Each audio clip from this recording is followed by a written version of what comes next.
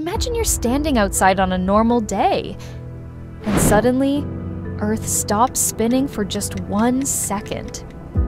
What happens? The ground would stop, but everything on it people, cars, oceans, even the air would keep moving at incredible speed more than 1,600 kilometers per hour.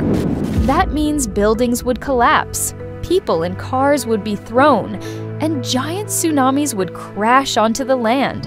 The air around us would also keep rushing forward, turning into winds so strong they'd destroy everything in their path.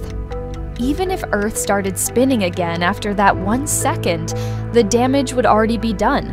Our world would look completely different.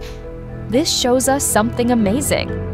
The constant spin of Earth, which we never feel, is quietly keeping life safe and stable.